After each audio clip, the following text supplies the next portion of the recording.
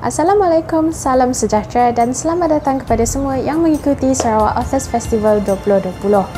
Untuk makluman, Pustakaan Negeri Sarawak merupakan penanggungjawab bagi pusat penyerahan bahan terbitan di mana semua bahan terbitan yang diterbitkan di dalam negeri Sarawak hendaklah diserahkan kepada Pustakaan Negeri Sarawak bagi tujuan pemeliharaan serta koreksi. Untuk tujuan tersebut, Pustakaan Negeri Sarawak telah memulakan inisiatif dengan mengadakan Sarawak Authors Festival di mana kita mengetengahkan uh, penulis-penulis tempatan dan menggalakkan kreativiti dan kualiti penulisan dalam kalangan penulis tempatan. Selain itu, Sarawak Authors Festival juga berperanan untuk menggalakkan tabiat membaca serta menulis di dalam kalangan rakyat Sarawak dan juga membuka ruang dan peluang kepada penerbit institusi pendidikan serta pengusaha kedai buku tempatan untuk mempromosikan jualan buku mereka. Pelbagai aktiviti diadakan sempena Sarawak Authors Festival yang diadakan setiap dua tahun sekali dan julung kalinya diadakan secara atas talian dan salah satu pengisian program pada tahun ini adalah program Author Share di mana kita telah menjemput beberapa orang penulis tempatan yang merangkumi zon utara, tengah dan juga selatan di negeri Sarawak. Para penulis tempatan ini bakal berkongsi dengan kita penerbitan-penerbitan terbaru sekaligus mempromosikan buku mereka. Mari kita berkenalan dengan penulis-penulis kita pada hari ini. Selamat petang dan selamat bertemu kepada semua yang bersama dengan kita untuk sesi bersama dengan penulis dan hmm. penerbit daripada wilayah utara Sarawak bersempena dengan Sarawak Author Festival 2020. Saya Lilian Baumpulo, Pustakawan Pustaka Negeri Sarawak Miri akan membawakan kepada anda penulis dan penerbit daripada wilayah utara Sarawak yang baru menerbitkan dan mengeluarkan buku yang terbaru di pasaran. Jadi bersama dengan saya hari ini ialah uh, Temenggung Elizabeth Deng. Selamat datang saya ucapkan kepada Temenggung untuk bersama dengan kita pada sesi kali ini. Jadi apa khabar Temenggong? Khabar baik, selamat petang dan selamat lebih Puan Lilian. Alright, terima kasih. Um, jadi boleh Temenggong uh, ceritakan latar belakang Temenggong kepada semua yang bersama dengan kita hari ini. Okey, terima kasih. Saya uh, Elizabeth Deng, seorang uh, kayan daripada Rumah Panjang Long Laput, berjawatan Ketua Masyarakat sebagai Temenggong kaum kayan bahagian Miri. Kalau kita tengok buku ini, um, hmm. buku pengurip Arts, Culture and Food of the Kayan Telang Usan. Dan buku ini baru diterbitkan ya Temenggong? Ya, betul. Okey. Dan uh, penerbit kepada buku ini ialah Persatuan Wanita Kayan Telang Usan. Yes dan Temenggung merupakan pengerusi kepada persatuan tersebut. Jadi boleh Temenggung uh, ceritakan ataupun kongsikan apa ia apa itu Persatuan Wanita Doh Kayan Telang Usan hmm. ataupun DKTU. DKTU Doh Kayan Telang Usan. Doh ni is wanita in Kayan. So we prefer it to be pronounced as Doh Kayan Telang Usan. DKTU is an uh, independent organization uh, with their particular focus on, on the social, economic and holistic development of the women, of the Kayan women in Baram and in Telangusan in particular. Yes. Okay. Di antara objektif penubuhan persatuan ini, Puan Lilian, adalah untuk uh, memelihara, merekod dan mendokumentasikan uh, heritage ataupun uh, adat tradisi dan budaya kaum Kayan di Telangusan dan di Baram. Wah, um, mendokumentasikan dan merekod tradisi dan budaya uh, warisan kaum Kayan di yes. Telangusan dan um, ini merupakan hasil daripada um, persatuan DKTU tadi. Ya. Uh, ini adalah buku kami yang buku terbitan kami yang kedua sebenarnya uh, Puan Lilian. Uh, we do this uh, because uh, uh, we believe uh, there are certain uh, heritage, certain tradition, certain literature uh, which will be forgotten by the younger generation. So our objective is to do this for them, not for us. Okey. Um, mungkin kalau saya tengok daripada tajuk ni Temenggong, mm-hmm. pengurip. Mungkin uh, boleh terangkan apakah maksud pengurip ini? Okay. Uh, pengurip art, culture and food of the Telangusan Kayan ni, pengurip means kehidupan or in English life or a way of life. So dalam buku pengurip ini we have three chapter Puan Lilian. Uh, the first chapter is about our uh, our tradition, our culture, and our arts. Uh, first is about our beadswork and craft, our costume, our accessories, uh, and our uh, the Kayan folklore, which is the literature in chapter 2. Chapter 3 will be our traditional and modern modern uh, cuisine, which is our Kayan recipe. Wow, amazing. hmm, bagaimanakah uh, pengalaman dalam uh, mungkin boleh temenggong bolehkah temenggong ceritakan uh, pengalaman di dalam penghasilan kepada buku ini hmm. ataupun kerjasama yang berlaku uh, untuk penerbitan kepada buku ini. I, I on behalf of the DKTU, Puan Lilian, we we are very proud uh, that we had achieved the publication of this book called Pengurip. It was made possible through the smart partnership and collaboration with the Faculty of Applied and Creative Art of UNIMAS dan rakan-rakan daripada UNIMAS yang diketuai oleh Associate Professor Dr. Yaakob uh, bin Muhammad Rafi serta disokong oleh uh, team from UNIMAS uh, in the name of uh, Awangku Hamdan Sylvester Jusem dan dan kepada tim uh, Unimas yang lain-lain dan juga tidak lupa daripada pihak pengurusan uh, Pustaka Negeri Sarawak Miri it is right to thank the SEB and SHGP uh, who collaborate with us in this project Pengurip is not uh, an ordinary book, not just a cookbook. It is a legacy to the next generation.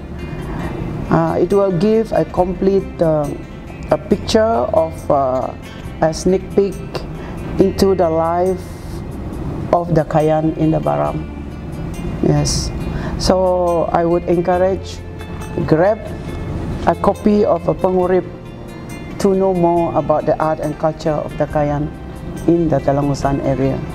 Saya sokong pendapat tu Temenggong mm. kerana kita di Sarawak memangnya multiracial, pelbagai kaum dan melalui buku ini kita boleh berkenalan dengan mm. adat budaya kaum tersebut. Mm. Bolehkah Temenggong kongsikan apa yang menarik dalam buku ini?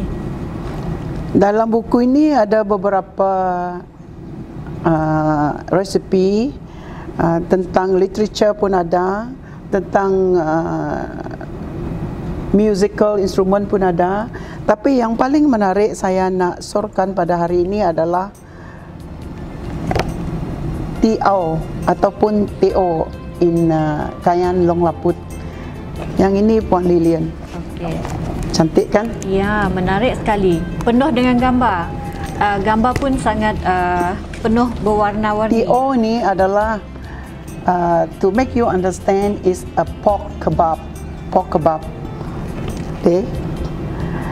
Uh, TO yang selalunya kita buat ataupun kita masak semasa perayaan. Uh, mungkin during uh, wedding ceremony, uh, naming ceremony, menamakan anak ataupun masa uh, paddy planting. Yeah. So we only do TO during a special occasion only. So TO ini pun kebanyakan uh, kayan di rumah-rumah panjang ataupun anak-anak muda sekarang um, tidak berapa kenal, tidak berapa tahu ataupun they never experience eating TO.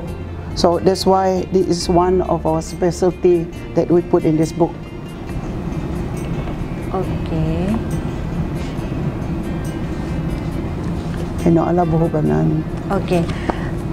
Wah, menarik sekali uh, isi dan maksud di sebalik penerbitan buku ini, Temenggong. Jadi, mungkin kepada para penonton kita di luar sana, ingin tahu di manakah boleh mendapatkan hmm. uh, buku ini? If you want to get a copy of this book, I encourage you to get a copy actually. You can get it from the DKTU members. Um, they are all in Miri. Jadi kepada para penonton yang ingin mendapatkan buku tersebut, jangan lupa kerana um, memang menarik buku ini penuh dengan gambar yang menarik dan mempunyai sejarah-sejarah kaum Kayan yang kita perlu ambil tahu. Okey. Jadi um, saya ingin uh, mungkin Temenggong apakah inspirasi hmm. Temenggong kepada uh, penonton kita di luar sana? You have a lot of res- recipe that you showcase in this book, mm. which is make me hungry.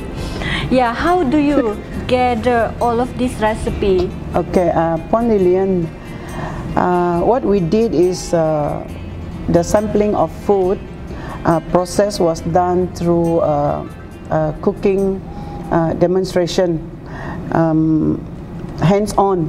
You know, uh, in in Miri, we in in few few houses in Mary we gather few ladies uh, like in a longhouse atmosphere. We enjoy that very much. Like we feel like we are in the longhouse uh, also.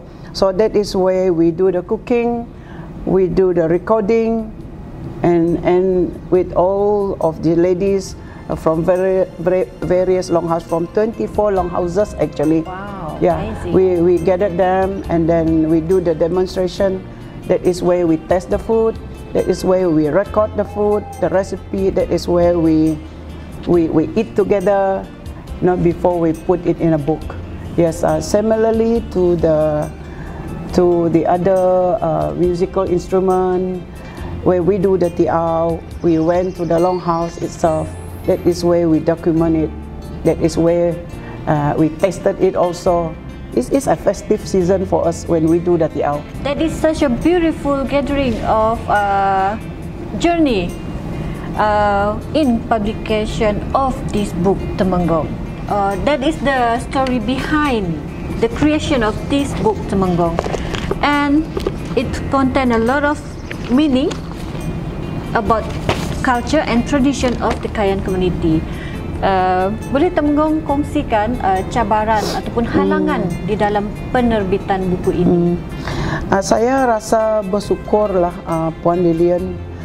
Uh, tidak kita tidak dapat uh, banyak liku-liku dalam penulisan uh, buku pengurip ini oleh kerana kita dapat bekerjasama yang sangat baik daripada uh, banyak pihak terutamanya ketua-ketua masyarakat yang membagi kita input uh, dalam penulisan pengurip ini.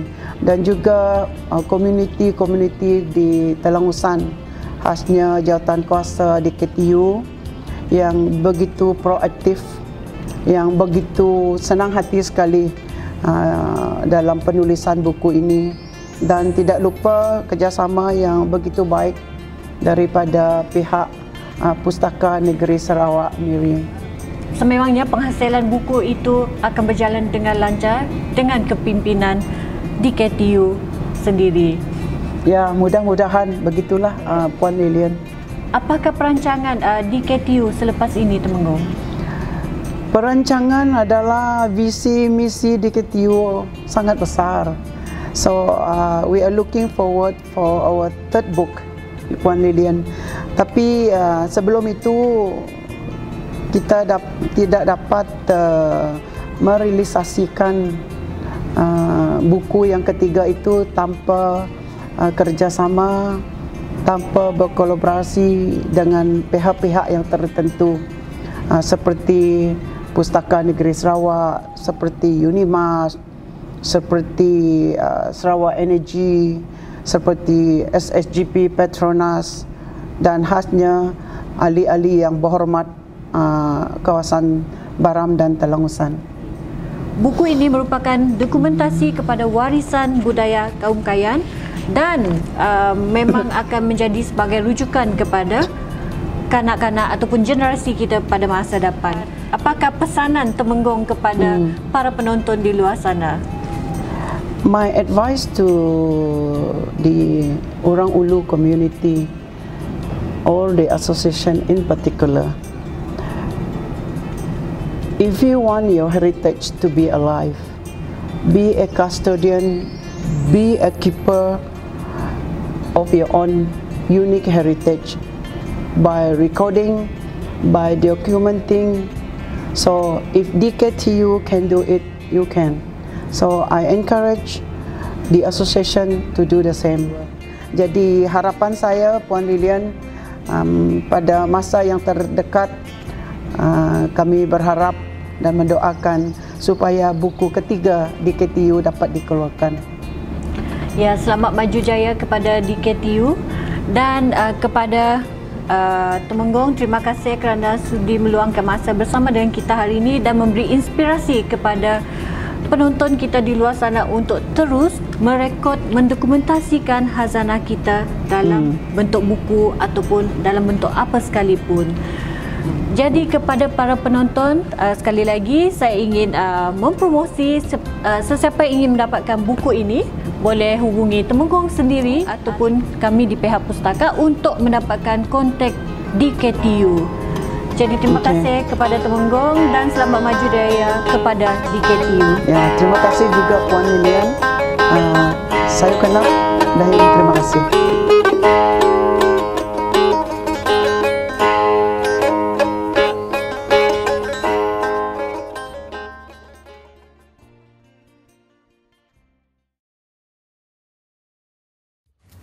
Assalamualaikum warahmatullahi wabarakatuh dan salam sejahtera. Uh, pada hari ini kami uh, saya Yaakob Muhammad Rafi'i dan saya Alko Hamdan. Saya Sylvester Jusem. Okey, pada hari ini kami bertiga uh, diminta untuk memberi sedikit ulasan berkaitan buku yang telah kami terbitkan itu yang bertajuk uh, Pengurip uh, Arts, Culture and Food of the Telang Usan Kayan. Okey, uh, buku ini diterbitkan hasil kerjasama kami dengan pihak uh, Pustaka Negeri Sarawak Miri dan juga Doh Kayan Telang Usan. Uh, kami menerima projek ini pada pertengahan tahun 2019 dan buku ini telah berjaya disiapkan pada penghujung tahun 2019 uh, dan dilaks, apa dirasmikan dan dilancarkan pada bulan Mac 2020 yang lalu. Okey, uh, untuk sedikit uh, makluman, okey, uh, secara umumnya, secara ringkasnya, uh, buku ini adalah berkaitan dengan uh, adat, budaya dan juga kesenian serta makanan uh, orang Kayan. Uh, dan masa kami mula-mula dulu di approach oleh uh, Temenggung uh, Elizabeth, okey, uh, kami diminta pada mulanya kami pada awalnya kami merancang uh, diminta hanya untuk membuat uh, buku berkaitan dengan uh, makanan tradisi kaum Kayan. Uh, tapi hasil perbincangan lanjut selepas itu dilihat bahawa uh, apa buku ini berpotensi untuk digabungkan dengan beberapa uh, isu lain uh, seperti seni dan juga budaya. Jadi akhirnya uh, selepas perbincangan yang panjang dengan pihak Doh Kayan Telang Usan, uh, buku ini telah berjaya diterbitkan dengan tajuk dinamakan Pengurip Arts, Culture and Food of Telang Usan Sekayan. Uh, untuk maklumat semua, pengurip uh, apa yang dimaksudkan pengurip adalah pengurip dalam bahasa Kayan ialah cara hidup eh cara hidup jadi uh, itulah uh, nama ini dipilih oleh Doh Kayan Telausan dan ini telah dijadikan sebagai tajuk buku ini uh, untuk maklumat lanjut berkaitan dengan isi kandungan buku ini saya serahkan kepada Encik Awangko Okey, ya. Untuk buku ini, uh, buku ini terbahagi kepada tiga chapter. Eh. Iaitu yang pertama, uh, yang menyentuh tentang uh, warisan budaya. Warisan budaya, uh, yang terkandung dalam warisan budaya ialah tradisi uh, uh, dengan objek budaya manik ya.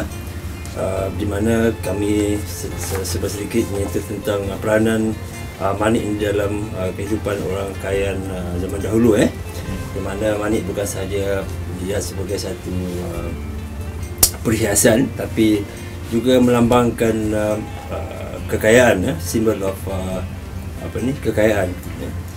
di mana juga kami menyentuh tentang uh, uh, satu manik tu iaitu lukut uh, skala yang nilainya sama dengan nilai seorang uh, hamba abdi ya. So itu bukan disentuh dalam dalam chapter ni.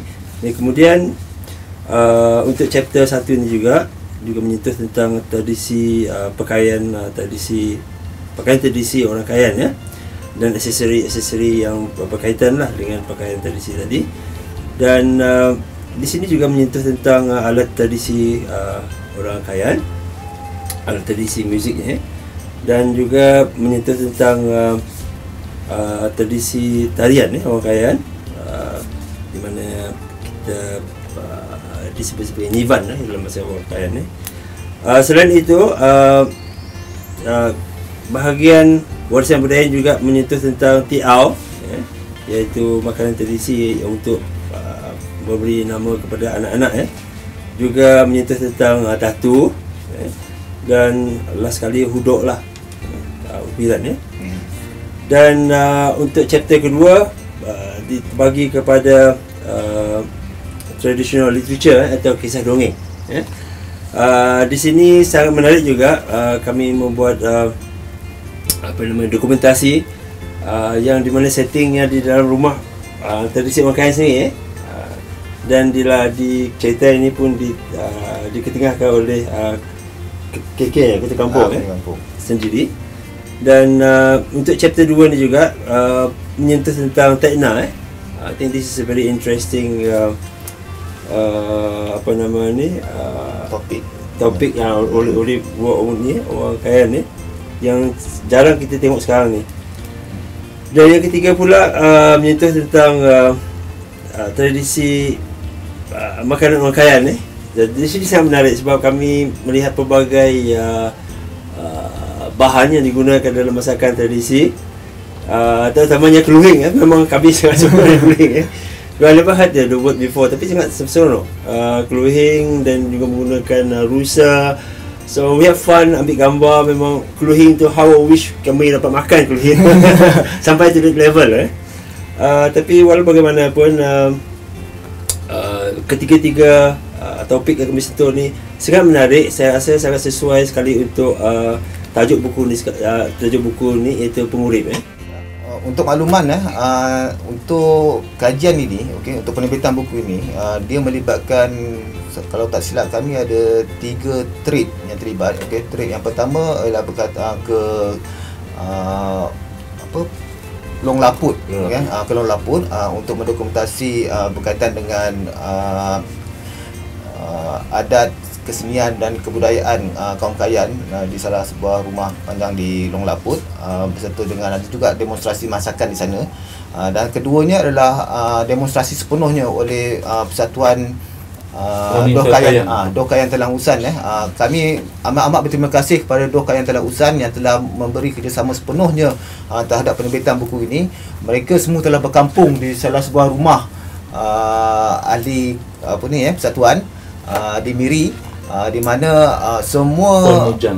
Ah, ya, Puan Mujan kan. Ya. Ah, dia masa tersebut uh, semua ahli persatuan bekerjasama, bergotong royong untuk sama-sama memasak uh, dan menunjukkan resepi uh, masakan tradisi kaum Kayan uh, dan saya rasa untuk kita share lebih lanjut berkaitan dengan pengalaman masa kami buat uh, uh, apa rakaman tersebut uh, saya serah pada Cik Sylvester untuk cerita lebih lanjut ya. Faham. permit me to speak right, English. okay, no yeah. problem. Yeah, they are, we are very, uh, very lucky to have met, uh, fortunate to have met key figures like, for example, uh, Y. Biden is now, uh, people like um, advisor Tumanggung, Elizabeth Ding, uh, people from the Pustaka uh, itself, uh, for example, Georgina Usun, and of course we have the Persatuan Wanita Kayan Telangusan. And uh, we we met these people interestingly that were able to help us and so on. So we also indirectly we uh, we venture into places and we met people and we know about their uh, way of life. We know about the uh, the tangible and intangible cultural experiences that we have gone through. Yeah. Uh, the food itself is very interesting from there we met many we, we even met some storytellers uh, that, that can pass knowledge from the uh, golden age generation to the younger generation. Uh, that's how we met these people. And uh, it, it, it goes from there actually. So uh, most importantly we managed to uh, document most of this in visual references. We, we, have it saved in our digital in a di- digital format and that's why we are able to come up with this book so this is how so we met very interesting people like the uh, Ketua, Ketua Kaum and we meet the uh, people uh, local folks from uh, for example Long Laput. yeah, Long Laput for Yeah. example yeah, or even to even to Long Pedian one, one time yeah. Hmm. Okey.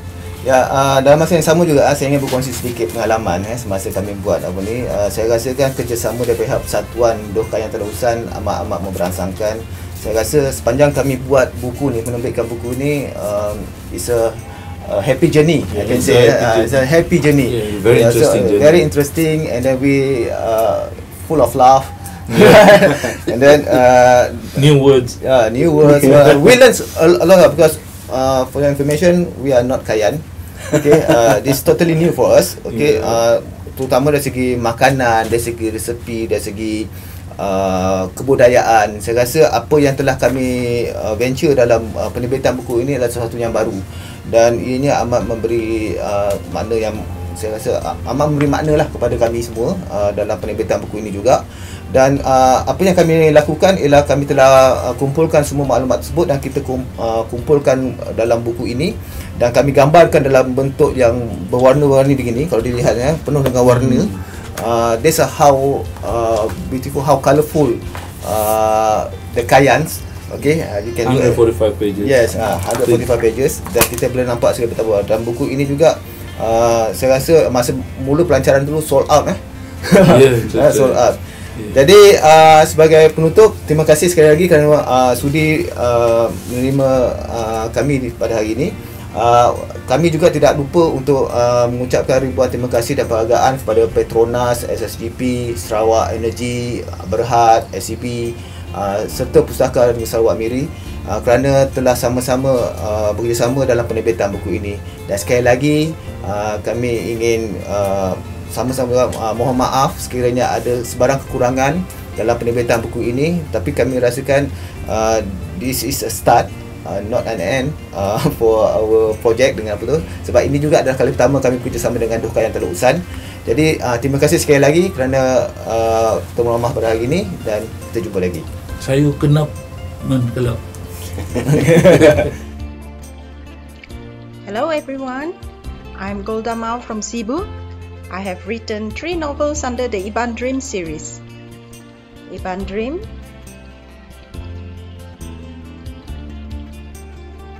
Iban Journey, and Iban Woman. I've also written two children's books. One is sci-fi, science fiction, the nanobots and other stories. Okay? And the other one is about a modern day Iban boy from Julau called The Laughing Monster. Right now, I am in the process of publishing um, two books in Cebu. Yes, I found a printer that I am happy with and I thought it was time for me to look closer to home.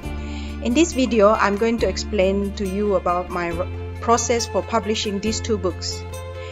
Remember, this video is just a guide. Everyone's situation is different, so some of these tips might not apply to you. I'm also assuming that you have finished writing and editing your story. Um, now, back to the books I will be self publishing. Um, one is a novella called Fairy Con. It is about a con man who pretends to be a murdered man. The other man's mother believes that her son has gone to Gelong, you see. So, uh, that is the invisible land of um, Kumang. So, since the con man thought that he looked like the sun, he decides to pretend to be him and live his luxurious life. The second book Encounters is an anthology of 10 short stories. It is a collection of modern short stories uh, based on Iban folklore and superstition. These are original stories. These are not translation of anything else I've heard. Okay? In it are the stories of the Antukoklia, the Antugrasi, even one about an Iang, um, as well as, of course, uh, one about my one of my favorites uh, demigods, uh, Sempurai or Bungai Nuing as he is known to some Ibans. Both books were extremely fun to write, but after I did them, I realized that there would be very few trade publishers who would want to take them. Even if anyone did, I know that the royalty and advance will be very bad. The usual excuse I get are the stories are too niche, too few people would be interested in buying them, or that too few people are reading nowadays. I have given Trade Publishing a chance for the past few years now. I feel that I am ready to take on self publishing. But then, um, as I was thinking about it, I decided that I needed a friendlier name than Golda. I mean, Golda sounds like a name for an ogre or troll. And I was planning to print books for early readers. So that means I have to do uh, I mean it means I have to have something that sounds friendlier so I applied for a business permit uh, for a company for publishing um, business called Goods Book. It was during the time of MCO when I did this. So naturally I got a runner to do the work for me. I know that there will be a, a number of gov- government bodies he needed to visit. Even land and survey he needs to visit land and survey just to get the permit he was familiar with the with the process. But i on the other hand will have to go from place to place to figure things out. That's a very bad situation to be in during mco so hence my decision to use a runner if you want to save on the fees you can go ahead on your own if you're familiar with the process i think there are places um, online where you can check and find out exactly how to do it. Huh? Just remember that you need a commercial address for a business permit. Okay, you do have a choice to print your book um, under your own name. There has been a number of Sarawak artists who have done that. For example, this one, my favorite book. Okay, I know that the camera is not showing what I want it to show, but the writer is Janang Anak yes i'm promoting his work because i love it. I absolutely love this book. It's a treasure to me huh? it's called an iban boy. Um, i'm so glad he decided to self-publish. Now this is like this is like one case. This this case where the book is so niche that uh, most publishers don't want to carry it but it holds a trove a treasure trove of information for people like me you know so I am so glad he decided to do it himself. Um, thank you, Mr. Jana, for that. Okay, um, you can even as a writer, as a as an individual writer, you know, without a company, without an organization, without an organization, you can still register with Pustaka and get the ISBN number without any trouble. You know? For example, like if you look at Mr. Janang's um, copyright page, there he is just his name and his home address. Yes, you, you do need an address in the book. Okay? There he is and his home address. Okay? And he still get the ISBN number. Hmm? He can still get it.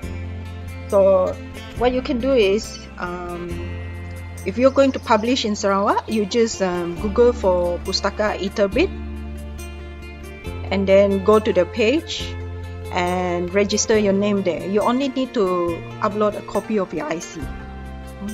If you're registering as a as a business like I am, then I need to upload the business permit. Okay. The next question I know you will be asking is Is it expensive to self publish? You will have to check with the printers yourself. Uh, because how much it will cost you will depend on the quality, the size of the book, and how many copies you want to print. Um, a, about a year ago, I was looking through. Um, now, how did I find my printer? You know, about a year ago, I was looking through some local books on my shelf and noticed that a few of them were printed in Cebu. So, um, you can actually get the the printer's um, address and contacts on the copyright page. Oh dear, I don't have a copy of uh, the the one published in Cebu, but on the copyright page itself, down here, usually at the bottom, there'll be the address and contact of the printer in your area. So it, it's best if you look for someone that is um, near you. Then it's easier to be to, to deal with them. I mean, there'll be no shipment. I mean, there'll be less shipment. You just need to drive a car somewhere and, and get it. That's all. Okay. Um, so what I did was I look at the book, you know, I checked the covers and binding and thought, well, this is good enough for me. So I met with the printer. With the book from my shelf in hand, I asked him how much he would quote for a book like that. This gave me an idea of what kind of prices I should plan around.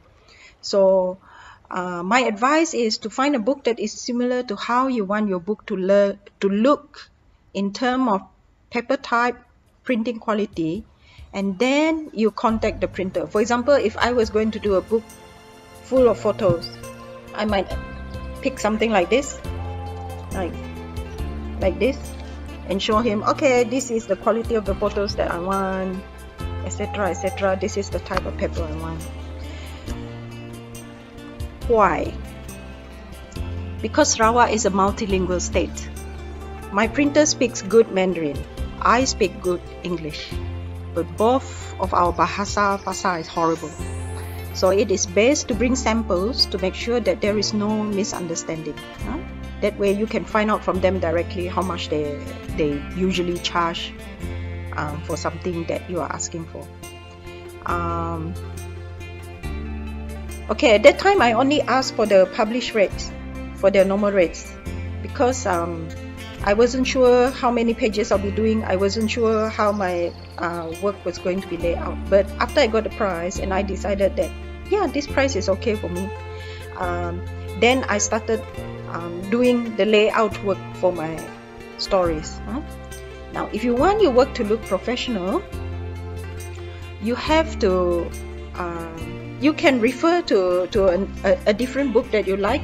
For example, like you think like uh, this sort of text size is good it's easy to to read. So you pick something like that. So you have to pick the the font size and then you have to make sure that the distance between the lines are okay and then you have to check the distance from the sides uh, from the top and the bottom. And you can even look at how the pages are numbered uh, to give you an idea of how you should do your layout. Um, all these things I just mentioned are for the comfort and convenience of the reader. Usually, people read stories when they are traveling or relaxing, so if the words are too hard to read because they are too small or too close together, you know, the lines are like on top of each other, uh, uh, the readers will stop reading.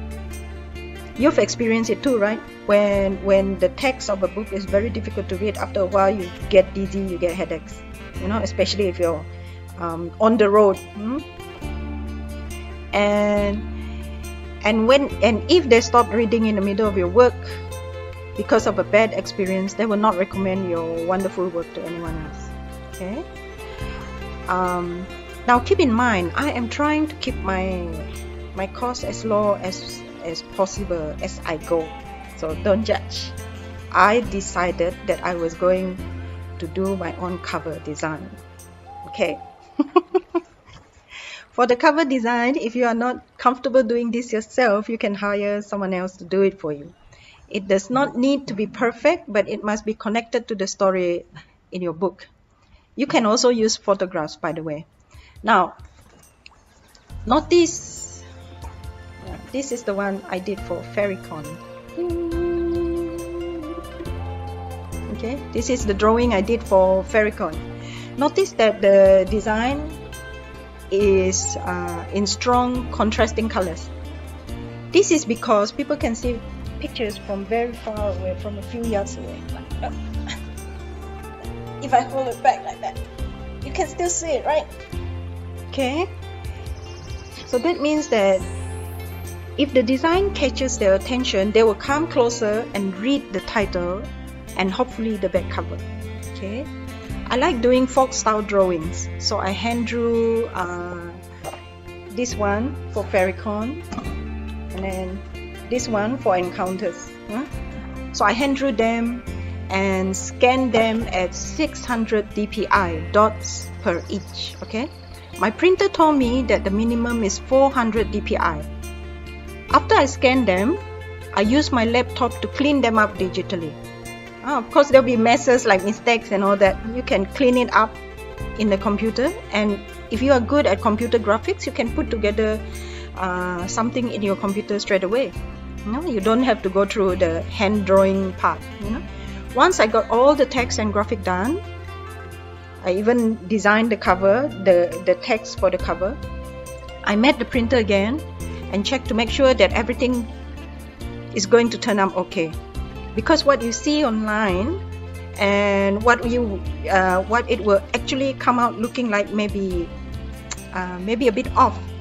You you know what I mean you know? Um, so the printer will have to check and make sure that okay this is okay this is acceptable yeah and then I made a list of what they want to send me uh, what uh, they want uh, me to send them and in what format so that is when I get the proper quote Alright. So next I applied to register as a publisher with Pustaka. Okay, here was my mistake and it slowed everything down for me. I did not realize that my business uh, permit file, PDF file was corrupted. A librarian had to get a corrected copy for me, so everything turned out okay. Um, after my registration was approved, I applied for the ISBN. This one was very quick. But when you do this, you must have properly designed your title page. So this is the title page. This one must have been properly designed. And your copyright page.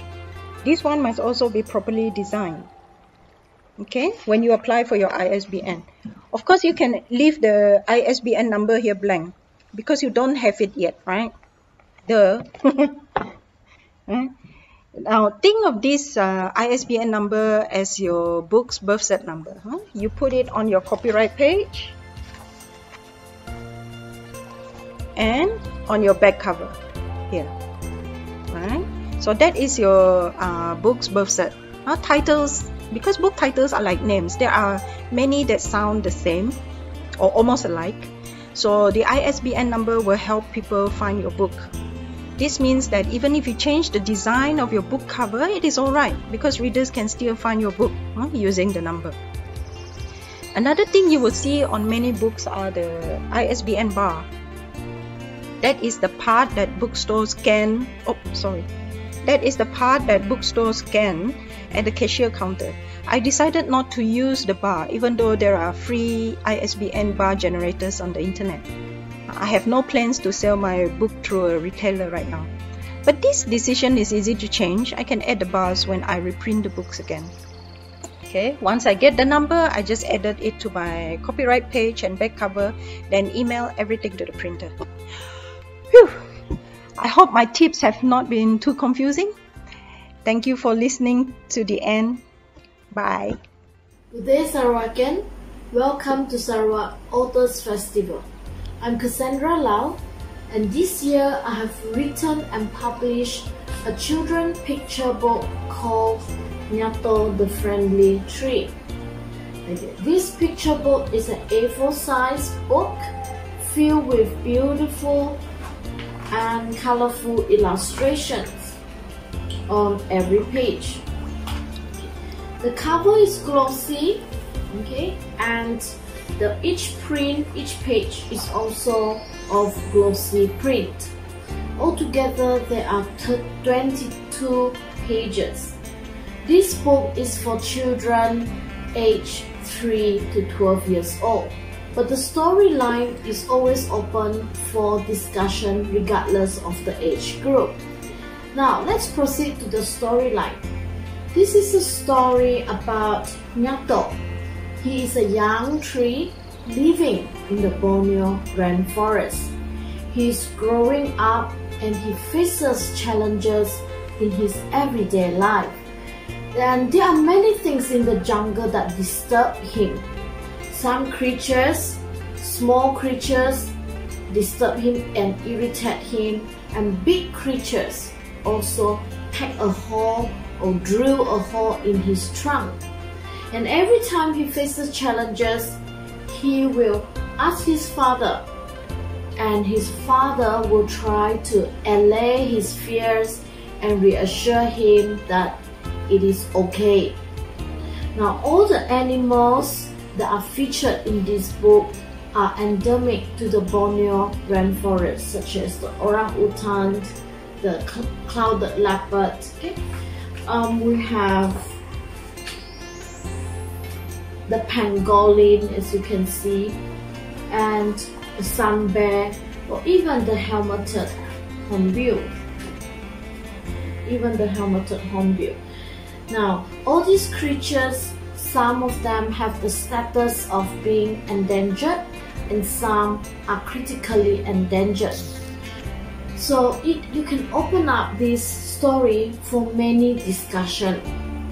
Now let's proceed to look at the characteristic of Nyato, who is the protagonist or the main character. Now Nyato is given eyes and mouth like a comic character, okay, so that the readers can see his expressions and know that a tree is actually alive, can move, and probably has feelings. Now, his father is a tall tree next to him. His father does not have comic character, okay? Because I want to depict him as somebody who is matured, somebody who is wise, and and his father is a constant present in Nyato's life. Now, what can the reader learn from reading this book? This book brings the attention of the readers to the importance of trees. That trees are living plants that move and grow and thrive. This story is able to open up discussion about the function of trees to the ecosystem of the earth and also to discuss the benefits of trees to all living creatures including humans. At the end of this book, there is a short blurb, some information about the function of trees. And also there is an activity where the readers can participate in. Besides that, this book also creates awareness of nature the environment, and also it can open up discussion on the conservation of the forest. This book aims to promote early literacy and cultivate the love of reading among junior readers. Yeah, so from kindergarten up to primary school. Among one of the teaching pedagogy that is used in this book is the repetition strategy. Okay, so there are words and phrases that are repeated. Besides that, there is also a group of synonymous words or synonymous verbs, action words that are synonyms or same meaning but um, different.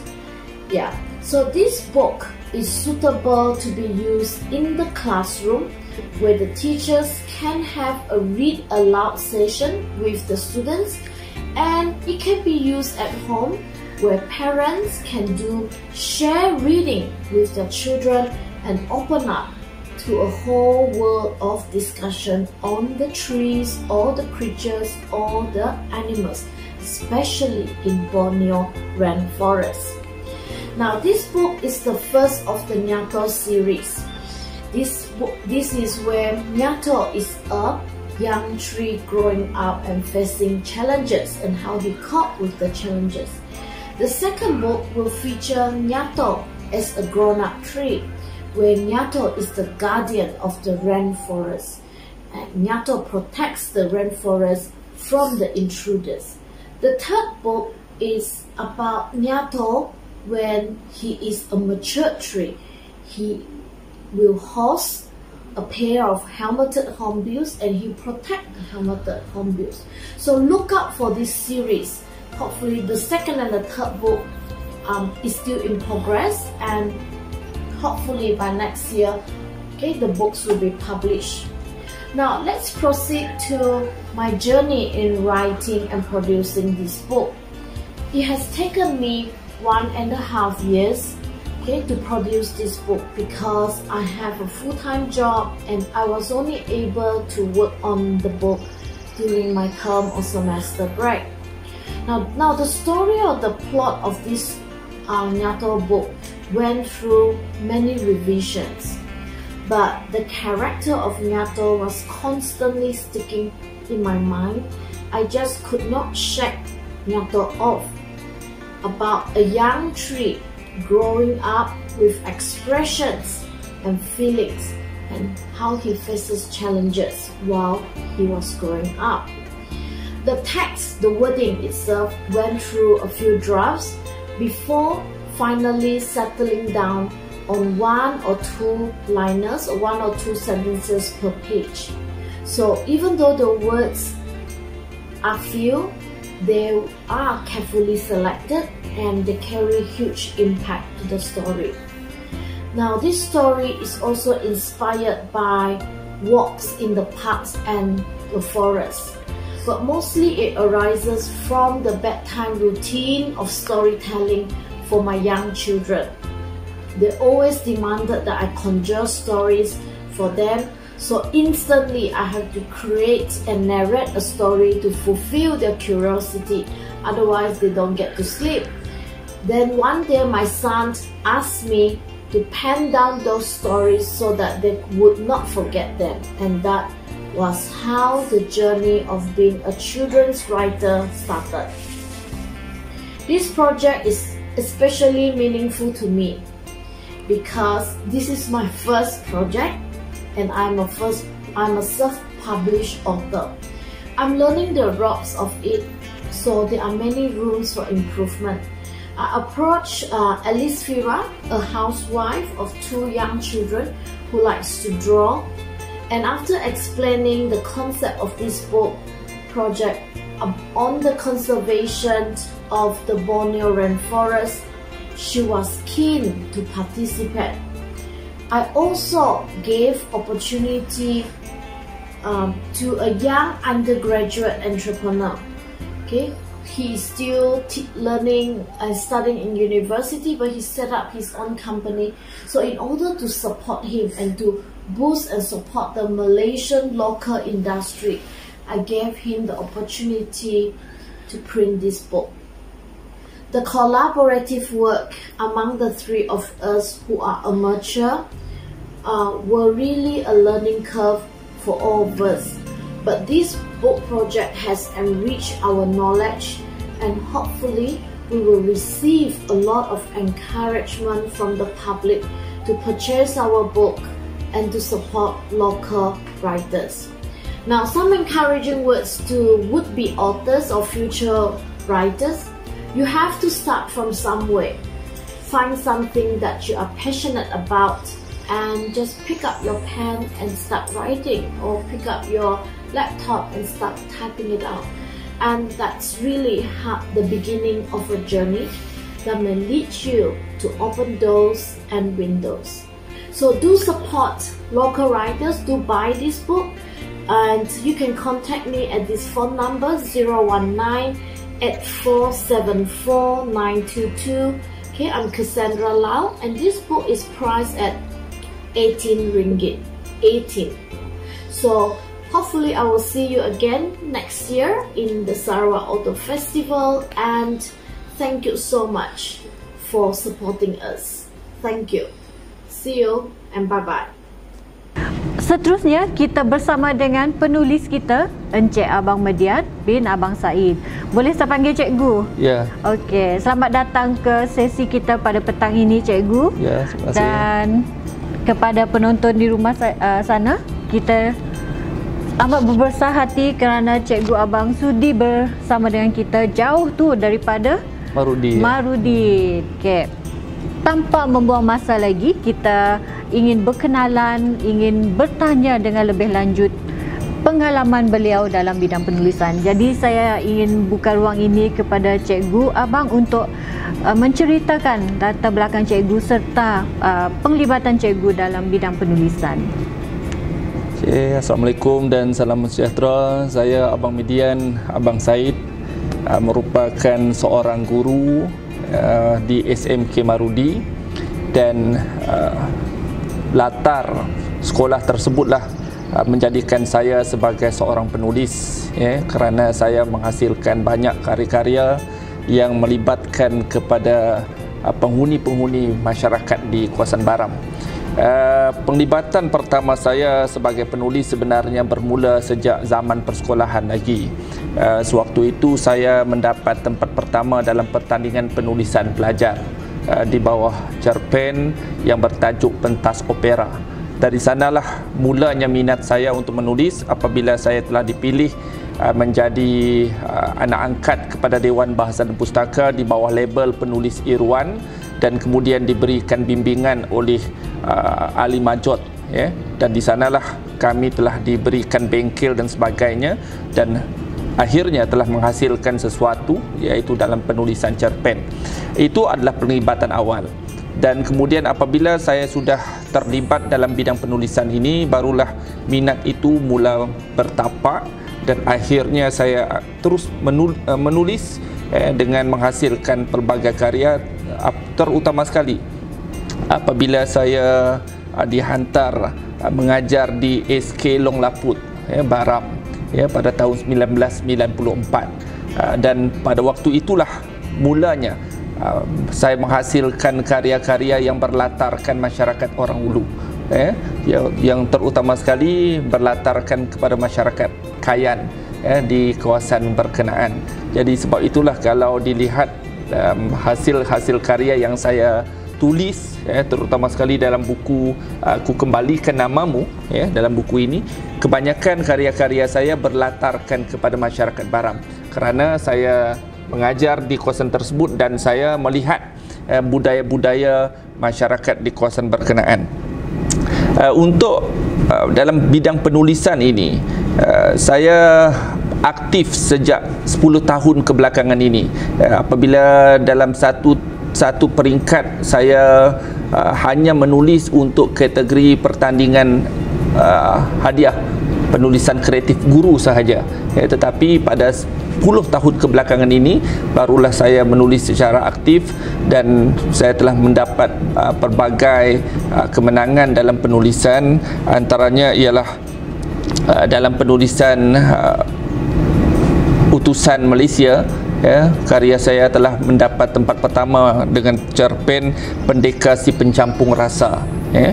Dan itu antara kejayaan bagi saya kerana sebelum ini uh, jarang penulis Sarawak yang telah uh, dipilih uh, karyanya untuk memenangi hadiah utama dalam pertandingan tersebut.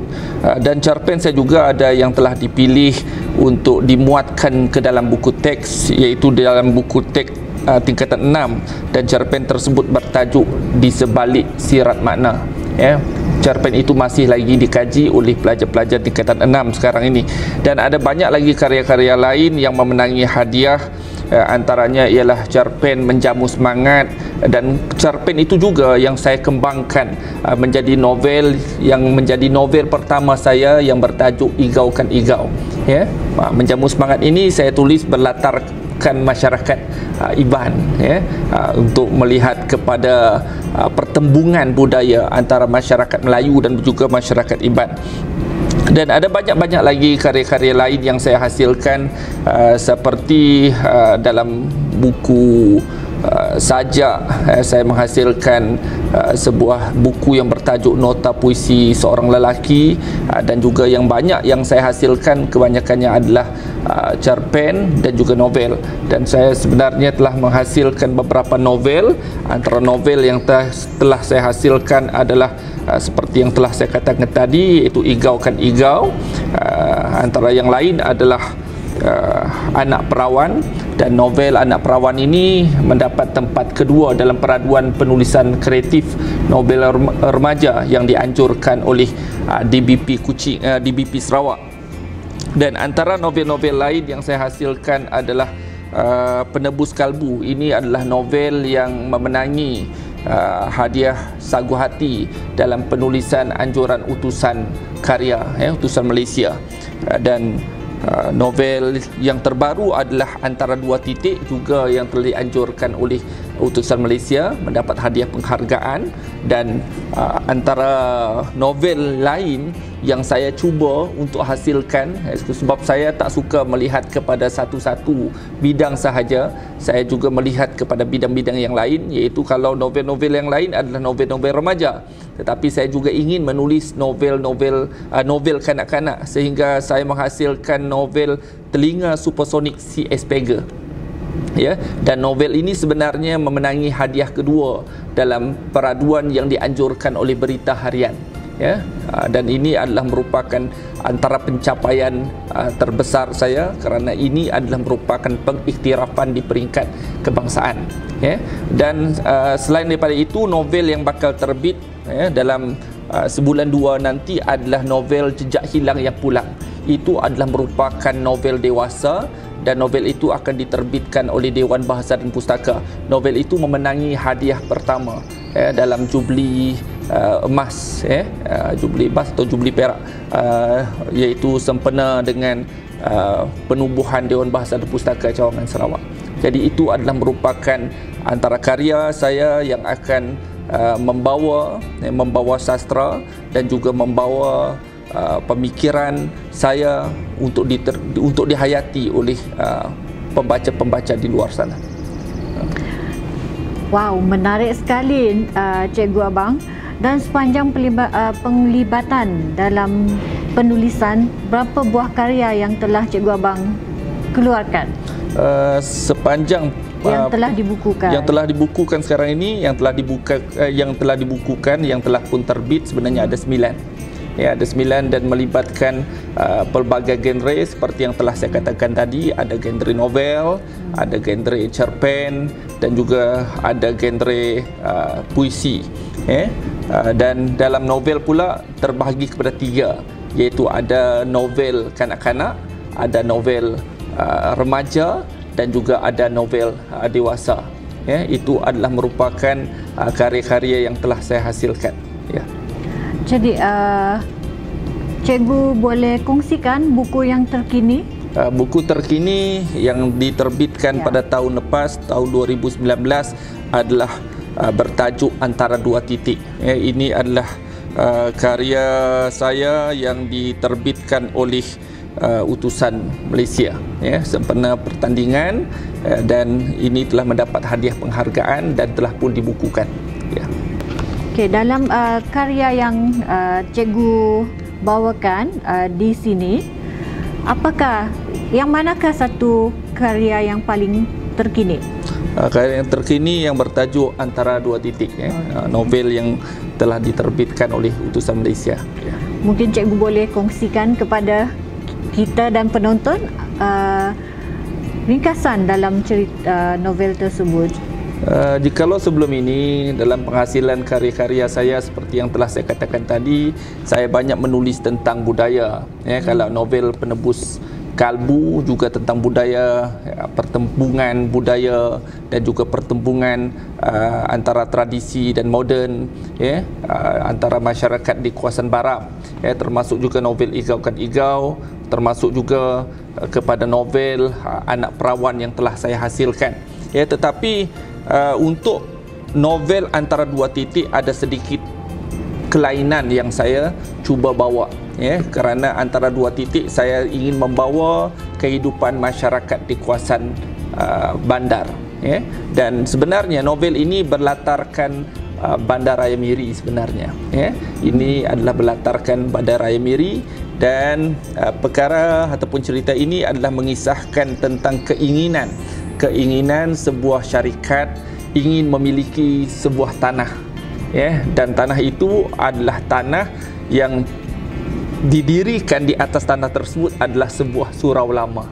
Oh. Ya, sebuah surau lama dan kemudian syarikat tersebut ingin memiliki uh, tanah tersebut atas alasan untuk uh, dimajukan. Tetapi sebenarnya mereka mempunyai agenda-agenda yang tersendiri.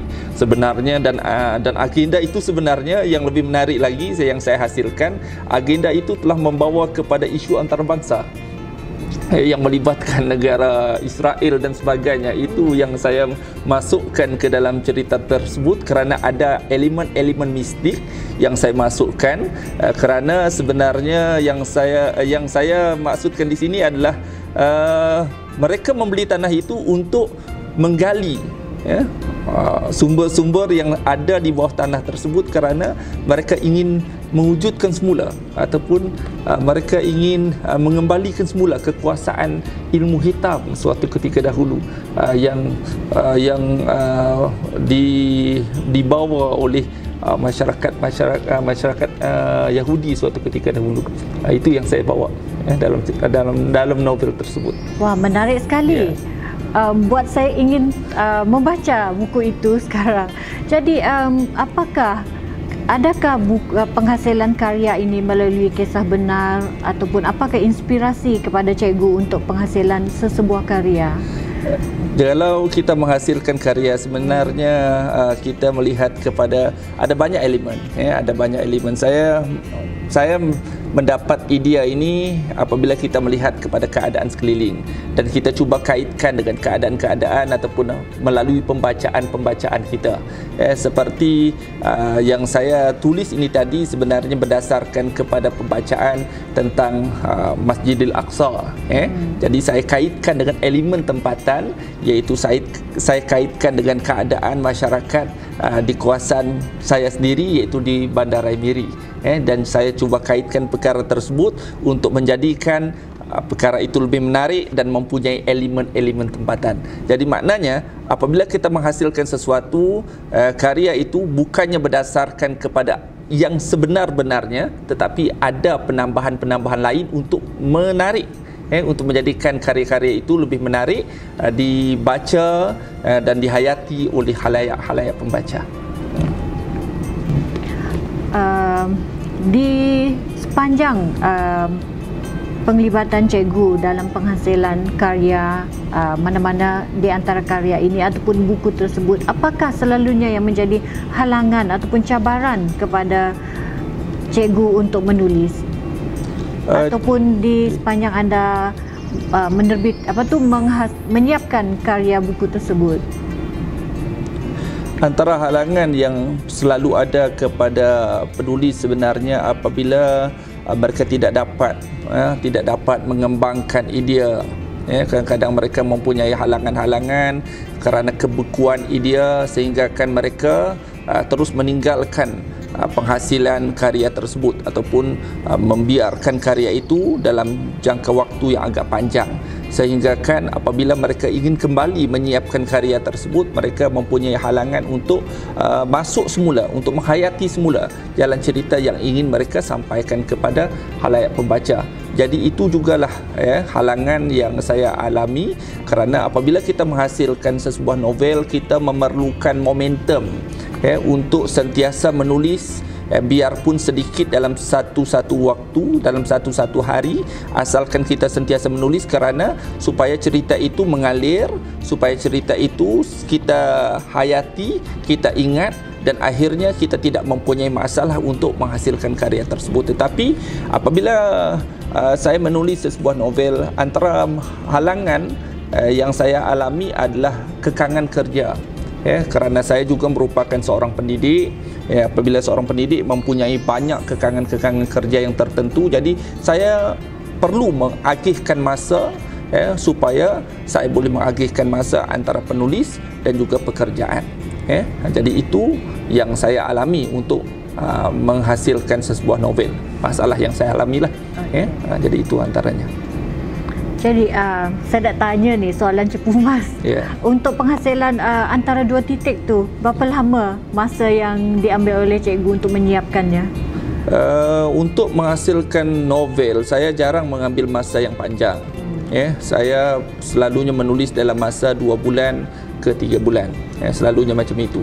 Eh, dalam uh, novel itu siap sebenarnya dalam masa satu bulan lebih. Tetapi saya memerlukan masa untuk saya mengedit semula untuk saya baca semula untuk saya buat uh, penambahbaikan uh, pembaikan bahasa dan sebagainya untuk menjadikan karya itu uh, sesuatu yang menarik. Untuk makluman sebenarnya novel ini sudah mengalami pelbagai versi ya, novel antara dua titik ini. Uh, novel ini sebenarnya pada awalnya saya uh, namakan novel ini project P R O J E X ya projects. Uh, dan saya hantar uh, saya ingin hantar uh, karya ini ke penerbitan uh, indie sebenarnya pada awalnya. Tetapi oleh kerana uh, kekangan masa dan juga melepasi tarikh yang telah ditetapkan dan akhirnya saya tarik balik ya tarik balik penyertaan tersebut. Dan akhirnya saya letakkan uh, novel itu untuk saya hantar ke pertandingan yang dianjurkan oleh utusan Malaysia. Dan pada waktu itulah ya novel ini akhirnya mendapat tempat ya bagi saya satu uh, pengiktirafan yang baik kerana ini melibatkan penulis-penulis yang bukan hanya berada di negeri Sarawak tetapi juga saingan-saingan penulis yang berada di semenanjung Malaysia Ya, jadi saya ingin menguji diri saya, menguji kemampuan saya sama ada saya boleh bersaing atau tidak dengan penulis-penulis lain untuk menghasilkan karya-karya yang terbaik. Jadi itulah yang saya lakukan selalu uh, untuk mencabar diri, untuk menghasilkan yang terbaik, untuk bersaing dengan penulis-penulis yang terbaik. Ya. Boleh kongsi, cik, uh, saya nak minta cikgu untuk kongsikan yeah. bagaimana kita boleh uh, menghasilkan idea itu sehinggalah menjadi sebuah buku. Uh, proses-proses yang perlu dilalui oleh seorang penulis ataupun penulis baru. Okey. Uh, saya kongsikan pengalaman saya terlebih dahulu. Eh, uh, saya dah menulis lama dan apabila saya menulis lama tetapi uh, saya tidak pernah memiliki sebuah buku pun pada suatu ketika dahulu. Sehingga kan pada satu detik apabila saya um, menghadiri bengkel ataupun menghadiri perkampungan penulis eh saya sentiasa rasa rendah diri eh, sebabnya ialah uh, penulis-penulis lain mereka memiliki buku eh, dan saya pula tidak memiliki buku persendirian eh, yang ada adalah uh, buku terbitan uh, yang menghimpunkan uh, beberapa orang penulis. Jadi oleh itu keinginan saya pada waktu itu untuk menghasilkan buku sendiri begitu tinggi. Sehingga kan pada satu detik kemudian saya menghasilkan sebuah novel ya. Dan novel itu sebenarnya adalah uh, novel yang dikembangkan dari sebuah cerpen. Ya cerpen yang memenangi hadiah pertama menjamu semangat. Saya kembangkan menjadi sebuah novel iaitu Igau kan Igau. Dan apabila manuskrip itu sudah ada saya pada waktu itu menghantar ya, novel tersebut kepada pihak Dewan Bahasa dan Pustaka ya. Dan memangnya uh, dan sememangnya pihak Dewan Bahasa dan Pustaka mempunyai kriteria-kriteria yang sangat tinggi dalam menghasilkan dalam menerbitkan sesebuah novel ya. Dan saya tahu tentang perkara tersebut tetapi uh, dengan uh, keinginan dan juga dengan keyakinan saya eh, saya rasa saya mampu untuk Uh, menghasilkan novel untuk mener, uh, untuk diterbitkan oleh pihak Dewan, Dewan Bahasa dan Pustaka dan akhirnya novel tersebut terbit. uh, itu sejarah ataupun pengalaman yang saya lalui kerana uh, pada waktu itu sukar untuk kita mencari penerbit-penerbit untuk uh, untuk dijadikan sebagai sebuah buku berbeza pada zaman sekarang ya. Berbeza pada zaman sekarang. Penulis-penulis baru uh, mereka perlu bersyukur. Kerana apa? Kerana mereka sekarang ini berada pada pada zaman yang banyak penerbit-penerbit ya tempatan ya penerbit-penerbit indie ya ataupun uh, boleh buku itu pula boleh juga diterbitkan secara persendirian. Kerana kos untuk menerbitkan sebuah buku pada masa sekarang ini uh, begitu rendah ya. Uh, boleh dipertimbangkan berbanding pada suatu ketika dahulu. Jadi bagi saya jikalau penulis penulis mempunyai keinginan untuk menerbitkan buku mereka mempunyai pelbagai pelbagai alternatif eh, antaranya ialah mereka boleh menghantar karya tersebut uh, kepada pihak Dewan Bahasa dan Pustaka. Eh, kerana seperti yang telah uh, dinyatakan oleh pihak Dewan Bahasa dan Pustaka sendiri mereka masih memerlukan ya, eh, mempunyai uh, keupayaan untuk menerbit uh, buku ter, terutama sekali novel-novel. Dan uh, sekarang ini juga ada banyak penerbitan-penerbitan lain ya uh, yang dikendalikan oleh pihak-pihak swasta sama ada di negeri Sarawak ataupun uh, di semenanjung Malaysia ya. Uh, di Sarawak pun sudah banyak ya penerbit-penerbit tempatan untuk menghasilkan novel. Uh, dan alternatif yang ketiga yang boleh dilakukan oleh penulis adalah mereka boleh menerbitkan sendiri ya buku-buku tersebut kerana uh, untuk mengurangkan jumlah uh, jumlah kos penerbitan tersebut ialah mereka boleh menerbitkan dengan jumlah yang sedikit ya jumlah yang sedikit yang penting buku itu terbit dan akhirnya kita boleh pasarkan dan jikalau buku itu ya habis terjual mereka boleh membuat penerbitan apa uh, cetakan yang kedua, cetakan yang ketiga, keempat dan sebagainya. Perkara ini juga banyak dilakukan oleh penerbitan-penerbitan yang uh, terdapat di negara Indonesia. Ya, sebab itu kalau kita lihat buku-buku di Indonesia ini sampai pen, uh, uh, cetakan itu sampai cetakan yang ke-19 ya ke-20 disebabkan oleh mereka uh, mencetak buku tersebut dalam jumlah yang sedikit. Jadi bagi saya kepada penulis-penulis baru yang mempunyai keinginan untuk menghasilkan karya, perkara yang pertama adalah tulis terlebih dahulu dan kemudian apabila ya, cerita itu selesai ya? Mereka boleh fikirkan untuk menghantar karya tersebut sama ada ke penerbitan swasta ke, kepada pihak kerajaan ataupun mereka boleh terbitkan sendiri? Ya. Okay. terima kasih di atas perkongsian tersebut.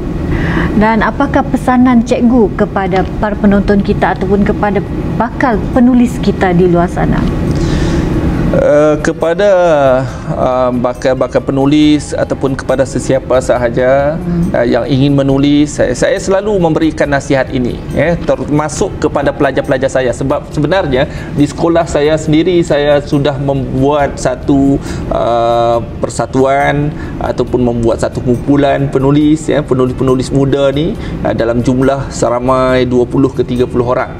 Dan saya berkeinginan uh, untuk melihat mereka ini menghasilkan karya. Dan sebenarnya pada tahun ini sebenarnya uh, saya mempunyai satu hasrat untuk menerbitkan buku ya buku cerpen dan buku uh, sajak untuk uh, untuk pelajar-pelajar saya. Tetapi disebabkan oleh masalah uh, PKP ni tadi ya, jadi rancangan tersebut agak tergendala. Jadi uh, nasihat saya sama seperti uh, yang biasa saya berikan kepada mereka ialah untuk menghasil untuk menghasilkan karya yang terbaik perkara yang pertama adalah perlu banyak membaca. Ya jadi kepada pelajar-pelajar kepada orang yang di luar sana yang mempunyai keinginan untuk menulis perkara yang pertama ialah perlu membaca ya. Ha, kalau dilihat dalam al-Quran sendiri menyatakan yang pertama ialah ikra baca ya. Jadi oleh itu untuk menghasilkan sesuatu yang terbaik mereka perlu membaca. Dan saya sendiri sebagai seorang penulis saya tidak berhenti untuk membaca. Ya saya tidak berhenti untuk membaca sehingga kan saya bersama dengan teman-teman penulis dalam Putra kami sentiasa sahaja membeli buku. Kadang-kadang kami membeli buku sampai ke Indonesia ya untuk mendapatkan buku-buku yang terbaik. Ya jadi uh, perkara inilah yang perlu uh, dilakukan oleh penulis-penulis uh, kerana kalau kita lihat kepada masalah uh, yang berlaku kepada generasi muda sekarang ini mereka kurang membaca ya. Terutama sekali dengan masalah gadget dan sebagainya. Memanglah mereka juga ada membaca dalam gadget-gadget dalam internet dan sebagainya. Tetapi apabila kita katakan membaca ini kita perlu melihat kepada kualiti bahan bacaan tersebut ya. Mereka perlu memilih uh, bahan bacaan yang berkualiti ya yang mampu uh, meningkatkan penguasaan bahasa mampu merangsang minda mereka.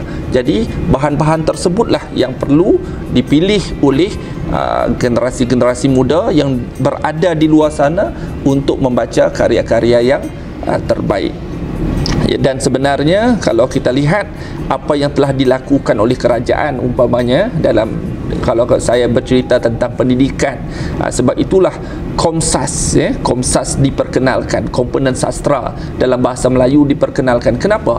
Sebabnya ialah masyarakat di Malaysia kurang membaca ya kurang membaca.